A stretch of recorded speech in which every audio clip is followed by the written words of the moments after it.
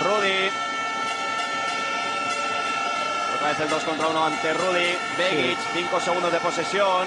Sí, se la va a jugar Rudy. 2 Xavi Rey. segundos, se la tiene que jugar Rudy. ¡Oh!